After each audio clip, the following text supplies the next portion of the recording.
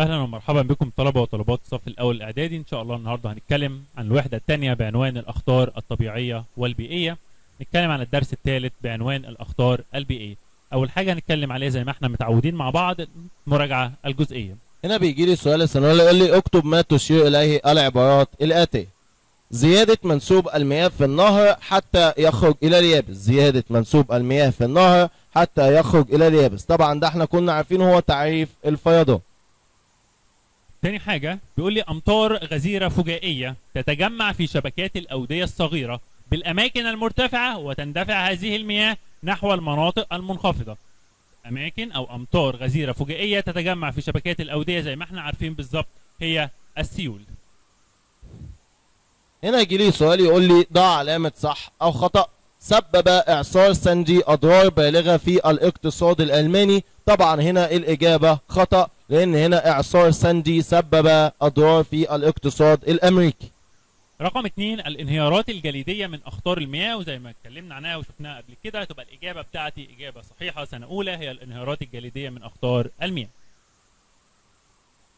هنبتدي مع بعض النهاردة بدرسنا عن الأخطار البيئية. ربنا سبحانه وتعالى وهب الإنسان الطبيعة بكل مواردها وجمالها فتدخل الإنسان في الطبيعة. إما في بنائها وتجميلها مرة وإما في إهدارها مرة أخرى. النهاردة هنتكلم على الأخطار اللي تعرضت ليها البيئة إيه؟ البيئة. إما أخطار طبيعية أو إما أخطار بيئية وهنعرف الفرق ما بينهم. طبعا هنبدأ في الأخطار الطبيعية. طبعا كده اسم على مسمى سنة أولى ما المقصود بالأخطار الطبيعية. أول ما أقول لك خطر طبيعي يبقى أكيد حدث نتيجة عوامل طبيعية. طب هل الإنسان اتدخل فيه؟ قال لك لا طبعا. لا دخل للإنسان بيها. قال لك طب ليها جوانب إيه؟ قال لك ليها جوانب سلبية ضارة ولها جوانب مفيدة إيجابية. يبقى هنا الخطر الطبيعي. سنة أولى أول ما أسمع كلمة طبيعي يبقى حدث نتيجة عوامل طبيعية. يبقى هنا هل الإنسان اتدخل فيه؟ قال لك لا لا دخل للإنسان فيه. بس ليه؟ جانبين جانب ضار وجانب مفيد. تاني نوع من الأخطار اللي هنتكلم عليها النهاردة هي الأخطار البيئية. ويجي يقول لي في الامتحان ما المقصود بالأخطار البيئية؟ أقول له هي أخطار تحدث نتيجة عوامل طبيعية. طب يا مستر الأخطار دي بيتدخل الإنسان فيها ولا ما بيتدخلش؟ قال لي لا وتدخل الإنسان. يبقى الأخطار دي نتيجة عوامل طبيعية وكمان الإنسان بيتدخل. طب إيه اللي بيحصل؟ قال لي وتحدث أضرار سلبية فقط. يبقى الأخطار البيئية ملهاش أضرار ملهاش جوانب إيجابية ولكن لها أضرار سلبية. وتجلب كوارث على الطبيعة والإنسان مع بعض. ده في الحاضر والمستقبل.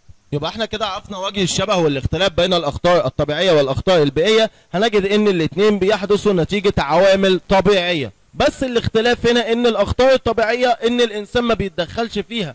إنما الخطر البيئي طبعا الإنسان هو اللي بيتدخل فيه. إنما الاخطار الطبيعية دي لها جانب مفيد ولها جانب ضار. إنما الخطر البيئي له خطر سلبي فقط. اتكلمنا عن الأخطار البيئية. طب عايزين نعرفها إيه هي الأخطار البيئية؟ إيه الأمثلة بتاعت الأخطار البيئية اللي موجودة عندي؟ قال لي رقم واحد التصحر من الأخطار البيئية حرائق الغابات من الأخطار البيئية والاحتباس الحراري وهنعرفه ونشرحه مع بعض برضو من الأخطار البيئية. أول حاجة هنتكلم فيها مع بعض النهارده مستر هي التصحر. طبعا زي ما إحنا شايفين كده في الصورة السنة الأولى التصحر هي عبارة عن صحراء أرض صحراوية. هو ده التصحر يعني الصورة هي اللي واصفة نفسها هي قدامنا. طب يجي يقول لي ما المقصود بالتصحر؟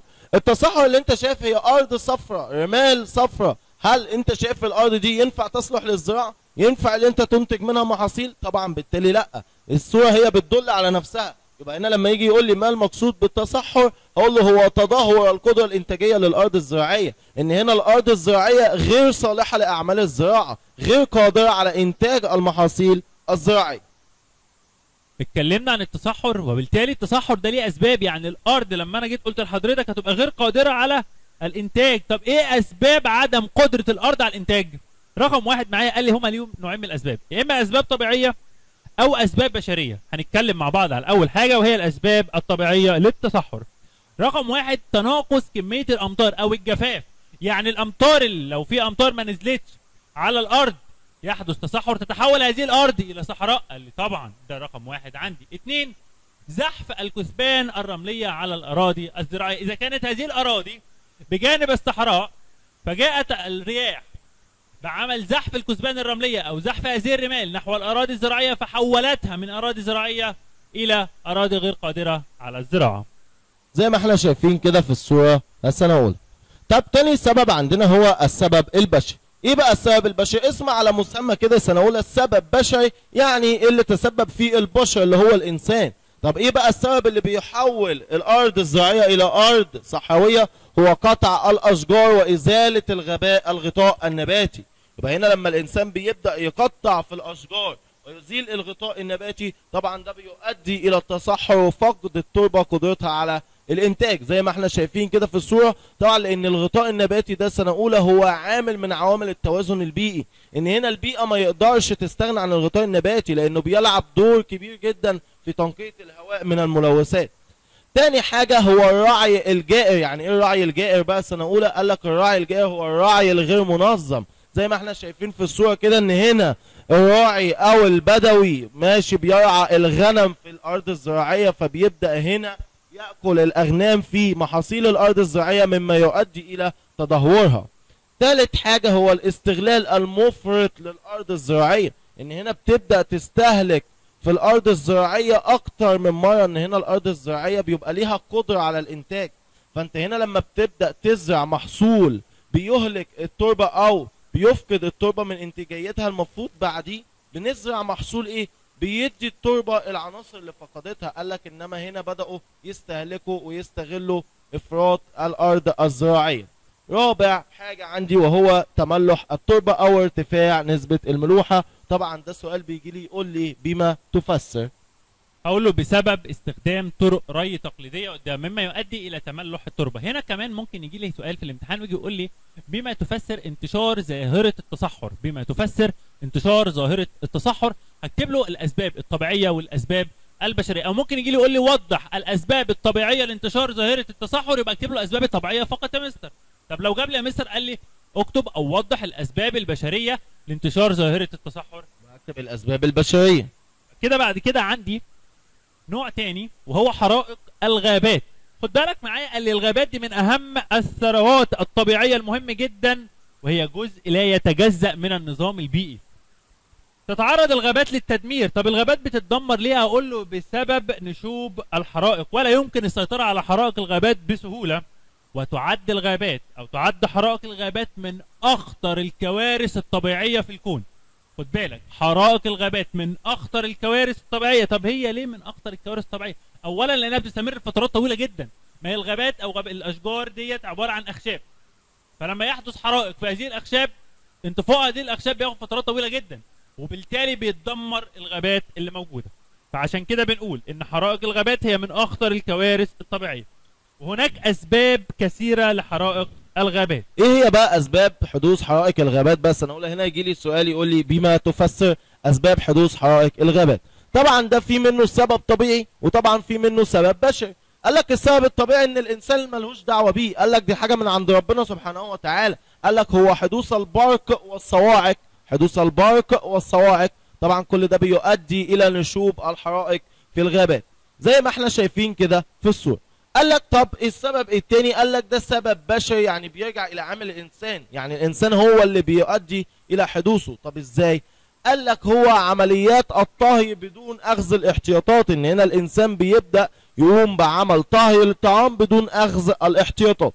تاني عامل بشري قال لك إن هنا الإنسان بدأ يتخلص من بعض المخلفات بطريقة الحرق إن هنا الإنسان بدأ يولع في المخلفات. فطبعا كل ده بيؤدي إلى نشوب الحرائق. مناطق الغابات. وإحنا كده عرفنا ليه حرائق الغابات من أخطر الكوارث البيئية قلنا لأنها بتستمر لمدة طويلة. طب إيه هي الأسباب؟ عندي سبب طبيعي هو البرق والصواعق. عندي سبب بشري هو عمليات الطهي دون أخذ الاحتياطات التخلص من المخلفات بطريقة الحرق. هنتكلم بعد كده بيقول لي النتائج اللي ترتبط على حريق الغابات. طب لما الغابة بتتحرق طبعا الغابة دي غطاء نباتي جميل جدا ربنا سبحانه وتعالى وهبه للإنسان. إيه اللي بيحصل لما تحدث حرائق الغابات؟ قال لي أول حاجة معايا تشوه الشكل الجمالي للغابات. طبعا النباتات والأشجار اللي موجودة في الغابات بتتشوه شكلها بشكل كبير جدا. اتنين انبعاث غازات ضارة بالبيئة هو غاز ثاني أكسيد الكربون الناتج عن احتراق الغابات. ثلاثة القضاء على التنوع البيئي والحيواني التنوع البيئي بالنسبة لتنوع نباتي أو حيواني موجود في الغابات كل ده النار هتقضي عليه بشكل كبير جدا تالت مشكلة عندنا أو تالت خطر بيئي بيواجهنا هو خطر الاحتباس الحراري أو المعروف بالدفء الكوني. إيه زي ما إحنا شايفين كده في الصورة إيه هو المقصود بالاحتباس الحراري؟ احتباس حراري برضو باين من اسمه كده هو ارتفاع تدريجي في درجة حرارة الطبقة السفلى من الغلاف الجوي أو القريبة لسطح الأرض. يعني مفهوم احتباس حراري هو ارتفاع في درجة الحرارة. إن هنا كل ما درجة الحرارة دي بترتفع كل ما زاد الاحتباس الحراري مما أدى إلى ارتفاع درجات الحرارة على سطح الأرض. هناك أسباب يا مستر معايا وهي أسباب ظاهرة الاحتباس الحراري. طبعا عندي عدة أسباب يمكن أول سبب فيهم انبعاث الغازات الدفيئة. الغازات الدفيئة اللي بتؤدي إلى ارتفاع درجة الحرارة مما يؤدي إلى احتباس حراري. طبعا غير كده وكده برضو الأنشطة البشرية اللي بيقوم بها الإنسان عن طريق الصناعة وعملية نقل واستهلاك الطاقة. وبالتالي برضو قطع الغابات وإزالتها ده بيؤدي إلى احتباس حراري بما إن الغابات بتدينا غاز ثاني أكسيد الكربون وبياخد مننا غاز تدينا ثاني غاز الأكسجين وبتاخد مننا غاز ثاني أكسيد الكربون فبالتالي قطع الغابات وإزالتها يؤدي إلى ظاهرة الاحتباس الحراري طب تعالى بقى نعرف كده أولى بقى إيه هي أضرار الاحتباس الحراري أو ما نتائج الاحتباس الحراري. أول ضرر أو أول نتيجة بتنتج عن الارتفاع في درجات الحرارة ده هو ارتفاع متوسط درجة حرارة العالم. إن هنا درجة حرارة العالم بترتفع فطبعا بيؤدي إلى احتباس حراري. تاني حاجة هو ذوبان الجليد وتقلص مساحته عند القطبين يعني قلة مساحته عند القطبين. طبعا إحنا كنا واخدين في الانهيارات الجليدية إن هنا الجليد دوت بيذوب مؤدي إلى تكوين بحيرات جليدية حول الجبال. فطبعا ده نتيجة إيه؟ نتيجة الاحتباس الحراري أو نتيجة الارتفاع في درجات الحرارة. ثالث ضرر أو ثالث نتيجة هو ارتفاع منسوب مياه البحار والمحيطات. إن إحنا زي ما إحنا شفنا كده إن هنا كلما ارتفعت الحرارة هيؤدي إلى ذوبان الجليد هيرتفع كل ده هيؤدي إلى ارتفاع منسوب البحار والمحيطات مما يؤدي إلى حدوث الفيضانات والسيول. رابع حاجة طبعا هنا لما هي- هيترتفع منسوب مياه البحار والمحيطات كده نتيجة على طول إيه اللي هيحصل؟ هتغرق السواحل وأجزاء من المدن الساحلية. مش المدن الساحلية دي سنة اولى هي على جوانب البحار والمحيطات. فبالتالي لما منسوب البحر هيرتفع. مين اللي هيتأثر؟ قال لك هي المدينة الساحلية. فبالتالي هنا النتائج ناتجة عن بعضها البعض. هنا أول ما هترتفع درجة الحرارة الجليد هيذوب. طب أول ما الجليد هيذوب قال لك هترتفع مياه البحار. طب أول ما هترتفع مياه البحار هتغرق المدن الساحلية. قال لك خامس حاجة طبعا كل ده هيؤدي إلى تغير باقي عناصر المناخ مثل الضغط الجوي والرياح والأمطار. طبعا دي كانت الاضرار أو النتائج التي ترتبط عن الاحتباس الحراري بالترتيب. بما إننا بنتكلم عن الاحتباس الحراري واتكلمنا عن المقصود بيه واتكلمنا عن أسبابه حتى النتائج التي ترتبت على الاحتباس الحراري وعرفنا إنه خطر كبير جدا من الأخطار البيئيه ولكن هناك جهود للإنسان وحكومات الدول لتقليل هذا الاحتباس الحراري الذي يضر بالإنسان والبيئة والطبيعة. إيه هي الجهود اللي بيقوم بها الإنسان والحكومات دي؟ قال لي رقم واحد ترشيد استهلاك الطاقة. والبحث عن مصادر طاقة متجددة لأن في أنواع من الطاقة هي بتؤدي إلى ارتفاع درجة حرارة الأرض فأنا لازم أرشد منها أستخدمها بكميات قليلة وأبحث عن مصادر طاقة متجددة أخرى ونظيفة اثنين وقف إزالة الغابات والتحكم في الحرائق التي تنشب بها. غير كده وكده برضو لازم أشجع زراعة الغابات. رقم ثلاثة إدارة المخلفات بطريقة علمية تقلل من هذه الانبعاثات الحرارية. أي مخلفات عندي مش هاخدها أحرقها على طول. لا لازم أديرها بطريقة علمية علشان ما يبقاش عندي انبعاثات حرارية تؤدي إلى احتباس الحراري. رابع حاجة وأخيرة هي زيادة فرض الضرائب على كل من يستخدم طاقة تزيد من الانبعاثات الحرارية زي المصانع دلوقتي. أي مصنع بيستخدم فيه طاقة بتؤدي إلى آه، زيادة درجة حرارة الأرض بتفرض عليه ضرائب كثيرة. وإحنا كده عرفنا جهود الإنسان وحكومات دول العالم لتقليل الاحتباس الحراري هترشد استهلاك الطاقة هتبحث عن مصادر طاقة نظيفة هتوقف إزالة الغابات وتشجع على زراعتها. هتدير المخلفات بطرق علمية. هتزيد من فرض الضرائب على من يستخدم طاقة تزيد من الانبعاث الحراري